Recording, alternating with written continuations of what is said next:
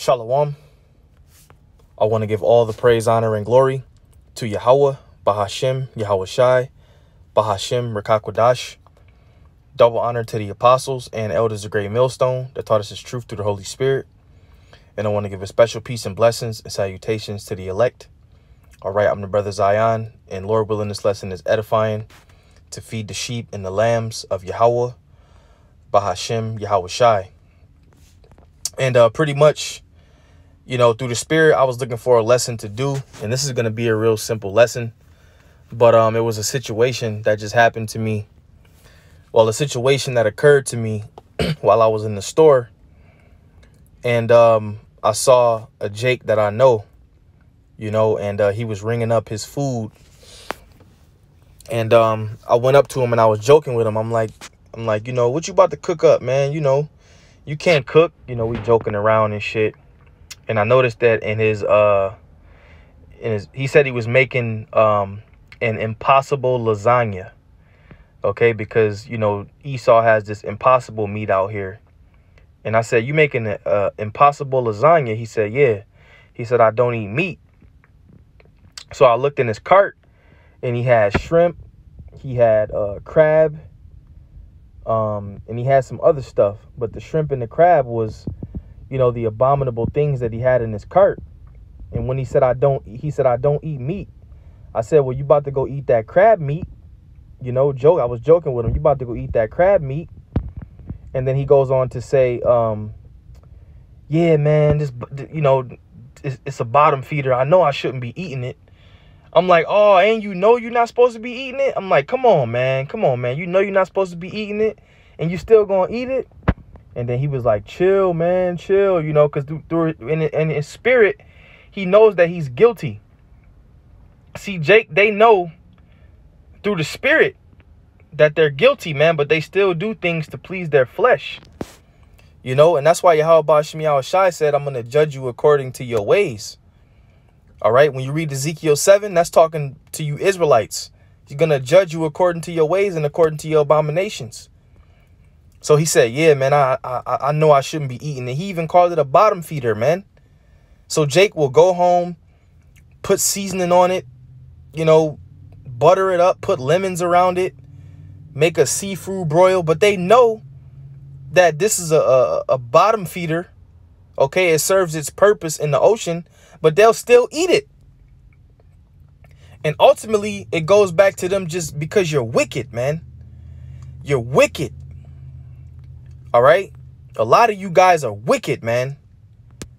And this don't even look this don't even look like something you should eat, man. Look at this damn crab, man.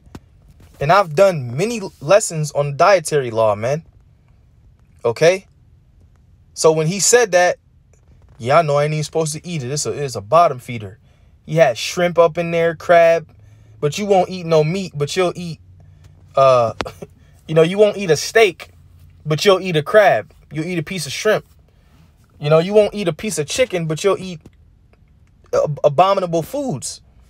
Which really shows you through the spirit that Jake is ass backwards, man. All right? Jake is ass backwards. And, and the Lord is going to judge you Israelites for breaking the dietary laws as well. You're going to be a judge. You're going to be judged according to your ways, man. You know, especially if you know. Because Jake, you know, he seemed like he was conscious of what he was doing, man. All right. But he's still going to go home and boil that shit and eat it up. Ezekiel 7 and 1. Moreover, the word of the Lord came into me, saying, Also, thou son of man, thus saith the Lord unto the land of Israel, and end is come, the end is come upon the four corners of the land. Now is the end come upon thee, and I will send my anger upon thee, and I will judge thee according to thy ways, and will recompense upon thee all thine abominations. Okay? And that's why the scriptures say, He that is uh, filthy, let him be filthy still. And he that is righteous, let him be righteous still, man. You know, Jake just does shit, you know. Hey, and we're living in the end. We're living in the end times, man. So the Most High is just going to start executing you, Jakes, man. You know, because eating those foods are, it's an abomination, man. I don't know how many times I done read Leviticus 7, but hey, man, I mean, Leviticus 11, But hey, man, we got to keep reading and reading and reading, then we'll keep doing it. Because ultimately it has to be edifying through the Spirit. Leviticus 11 and 9. These shall ye eat of all that are in the waters. Whatsoever have fins and scales in the waters, in the seas, and in the rivers, them shall ye eat. So it has to have fins and scales, but ultimately goes into certain types of fish, man. All right? The Lord made certain types of fish for us to eat.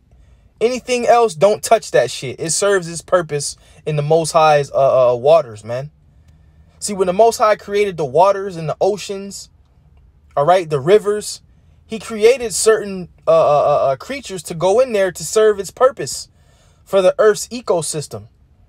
But what does Esau allow you to do? He'll take that shit out the water, crab, shrimp, mussels, lobster, crawfish, and he'll sell it to you, man at a very high price and tell you it's a delicacy.